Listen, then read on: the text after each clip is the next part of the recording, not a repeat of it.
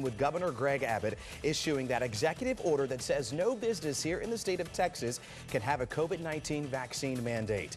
And today, American Airlines, which is based here in Texas, says it's sticking with its vaccine mandate anyway under President Biden's rules. Some legal experts are not so sure Abbott's order will last. ABC 13 Nick Natario joining us now from the newsroom. So, Nick, do you have to show your employer your vaccination card? Uh, prior to yesterday, I would have told you yes. But that all changes today, and it's all thanks to this order right here. But legal experts aren't so sure it's going to remain that way soon.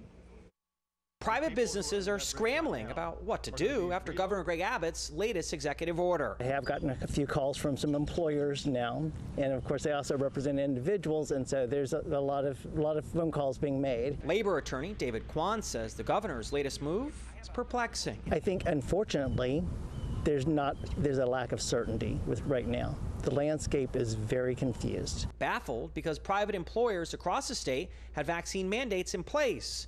But now, employers can't ask for COVID 19 vaccination proof. The governor says he wanted to block bullying mandates from the federal government.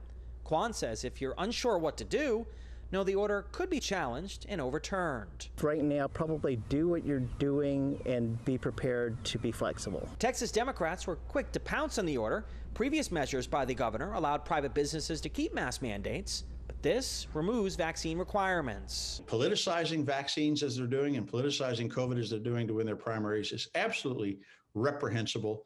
And then telling CEOs how to run their companies, that's not something that Texas politicians should be doing. More Texas lawmakers could get involved. The following message from the governor, the secretary will read the message. Today, the Senate introduced the issue on the floor and could vote on legislation banning vaccine mandates during the special session. It's more overreach, and I don't know why these guys are doing it. Second, I come out of the business community.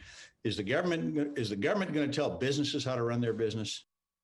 So we reached out to the governor's office on this issue, and we've been trying to reach him for several months, but we have not been able to get a hold of them and conduct an interview. We also reached out to Lieutenant Governor Dan Patrick's office, did not hear back. However, the Lieutenant Governor put this on social media saying, I've consistently said taking the COVID vax is a personal decision and should never be forced on anyone by the state or a private employer. Now that it's on the call, the Senate will move swiftly to take up this matter.